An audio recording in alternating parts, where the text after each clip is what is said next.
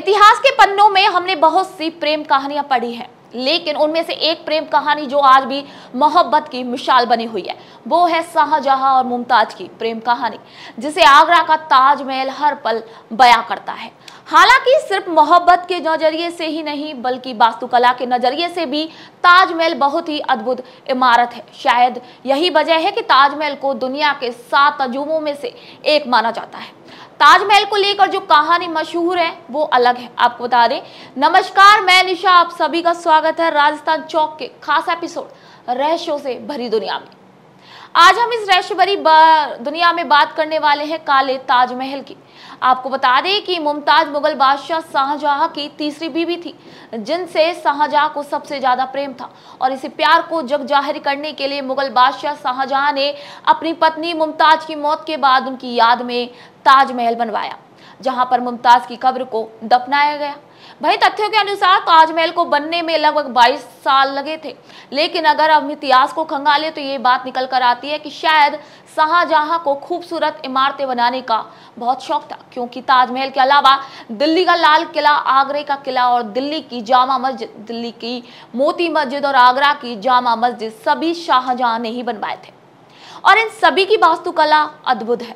हालाँकि वास्तुकला और सुंदरता के नज़रिए से ताजमहल में सबसे ज़्यादा खूबसूरत माना जाता है, क्योंकि इसे सफ़ेद संगमरमर के पत्थरों से बनवाया गया था। लेकिन ताजमहल के बनने के बाद शाहजहां खुद इस महल के इतने कायल हो गए थे कि उन्होंने अपने लिए भी ऐसा ही एक महल बनवाने की इच्छा ज़ाहिर की, जहाँ पर उन्हें उनकी मृत्यु के बाद दफनाया जाए। लेकिन शाहजहां की ख्वाहिश ये भी थी कि वो महल सफ़ेद नहीं, बल्कि काले पत्थरों से बना हो, यानी कि काला ताजमहल। काला ताजमहल को लेकर आपने भी कई किस्से और कहानियाँ सुनी होंगी, लेकिन असल में काला ताजमहल का रहस्य क्या है और ये क्यों नहीं बन पाया, इसके पीछे की वजह बहुत कम लोग जानते हैं। आपको बता दें कि तथ्यों के अनुसार कहते हैं कि काले ताजमहल का ज़िक्र सबसे पहले यूरोपीय यात्री या बाप्तिस्त ताबरेनिये के लेखों में मिलता है, जो साल सोलह में भारत के आगरा शहर पहुँचा था। यूरोपीय यात्री में अपने लेखों में काले ताजमहल का भी ज़िक्र करते हुए लिखा है कि शाहजहां ने ताजमहल के सामने बहने वाली दरिया के दूसरी तरफ़ अपने लिए एक मकबरा बनाना शुरू किया। लेकिन इससे पहले ही शाहजहां के बेटे औरंगज़ेब ने उन्हें कैद कर लिया। हालाँकि कई पुरातत्व इसे केवल एक मिथक कथा बताते हैं, लेकिन अगर यूरोपीय यात्री के लेखों में लिखी गई बातें सच है तो काला ताजमहल का अस्तित्व कहीं ना कहीं तो पनप रहा होता, जिसे औरंगज़ेब ने बनने नहीं दिया। काले ताजमहल से जुड़ी कहानियों के अनुसार औरंगज़ेब शाहजहां के चार बेटों में सबसे छोटा था, जिसकी सत्ता के लालच में उसने अपने परिवार के ही विरुद्ध युद्ध कर दिया। औरंगज़ेब ने सत्ता के लिए पिता शाहजहां तक को कैद कर लिया था तो वहीं कई सालों तक उन्हें जेल में भी बंद रखा। लेकिन 22 जनवरी साल सोलह को शाहजहां की मृत्यु हो गई। औरंगज़ेब ने भले ही शाहजहां को कैद कर लिया था, लेकिन थे तो वो औरंगज़ेब के बाले थे। और औरंगज़ेब को इस्लाम के अनुसार पूरी रस्मों के साथ उनके शव को कब्र में दफनाना था।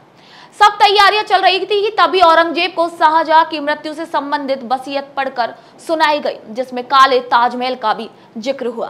शाहजहां के शव को वहाँ पर दफनाने की बात कही गई थी कि काला ताजमहल बनाने में कोई भी दिलचस्पी नहीं थी। आपको बता दें कि औरंगज़ेब को काला ताजमहल बनाने में कोई भी दिलचस्पी नहीं थी, क्योंकि मुगल सल्तनत पर हो रहे हमलों से शाही खजाना खाली होता जा रहा था, और अगर औरंगज़ेब काला ताजमहल बनवाता तो उसे उतना ही भव्य बनाना पड़ता जितना उसके पिता ने उसकी माँ के लिए बनवाया था, जिसे शाही खजाने से धन की बर्बादी होती। इसके अलावा औरंगज़ेब धार्मिक क्रियाओं में भी कोई दिलचस्पी नहीं रखता था, जिस वजह से इतना भव्य मकबरा बनाना उसके लिए फिजूल खर्ची थी।